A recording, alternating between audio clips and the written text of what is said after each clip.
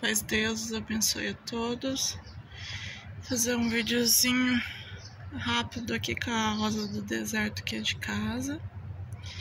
Essa daqui ela é vermelha. Comprei ela uns 5 anos atrás, mais ou menos. E comprei ela sem a flor, não sabia que flor que era a dela. Na época eu paguei acho que 20 reais, 19 reais no, no varejão que tinha aqui perto de casa, que tá fechou. E daí era pra mim ter gravado ontem. Choveu, ela tá com uns gotinhos de chuva, mas ela é linda, né?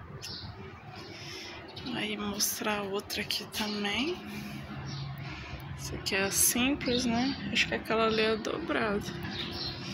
Cor de rosa. O formato dela é uma bunda. Olha como que ela tá. Tava pensando em podar ela, mas fiquei com dó.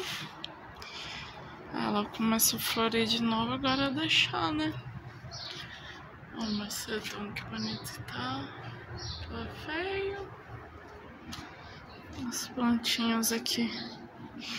Aqui do fundo. Mais aqui, ó. Os cactos. Tá tudo bebê. Tamanho que tá.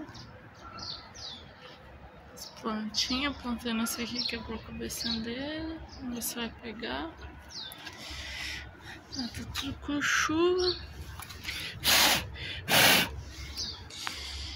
Bonitinha. Ah, essa aqui quase morreu. Tá bonita agora. Ela toma chuva, ela fica querendo apodrecer, não tem jeito. Olha essa aqui dando florzinha, que linda. Vai focar a florzinha dela. Uma branquinha, que gracinha. Analisar então ali com as rosas do deserto. Deus abençoe a todos. Deus assim permitir faço mais videozinho. Até mais. Mais pallet aqui também.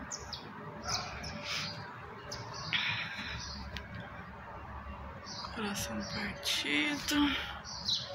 Emaranhado. Cacto. Esse aqui que eu fiz agora.